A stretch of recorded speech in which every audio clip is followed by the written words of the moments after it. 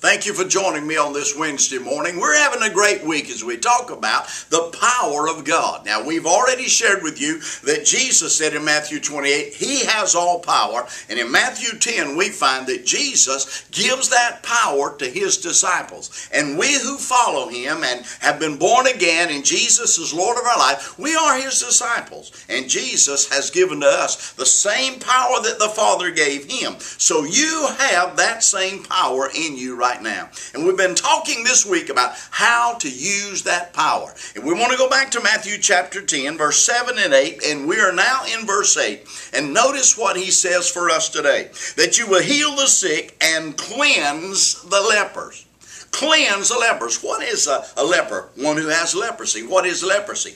Leprosy, and I like to put it this way leprosy is a reversal of life. You and I, through our existence in life, we continue to grow and new growth and reproduce. But when leprosy hits our body, leprosy begins to cause our body to die. It begins to eat up those things. Rather than new growth, it begins to reduce us. And so leprosy symbolizes a reversal of life. Now, you might not know someone who has the, the physical illness of leprosy, but there are more uh, things to deal with than just the physical leprosy leprosy. I say that there's a mental leprosy. There's a uh, there there's a, language leprosy. Uh, there's a habit leprosy. What does that mean? That means that there are some people because of circumstance and situation they're they're not talking positive. They're talking negative. It means that every thought is going in the wrong direction of living. They're only thinking bad thoughts. They're only thinking about bad things. They they think negatively rather than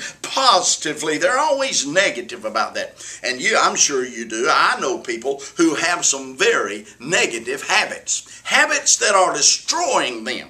Uh, spiritually, physically, mentally, financially, every way. And so we to cleanse that. Now, what does that mean? Does that mean we want to reverse the direction of that leprosy? We want to reverse it. We want to cleanse it. And today, you're going to use the power of God, and you're going to be introduced to people somewhere today that are having, are, are they're victims of, of spiritual leprosy, mental leprosy, language leprosy. They're going to be on a negative but you are going to use this power to cleanse. You're going to turn it around. You're going to reverse it for them. And before it's over, they're going to begin to speak positively. They're going to think positive. Their, their habits are going to change and they're going to have positive habits, things that will cause new growth in their life and success and prosperity.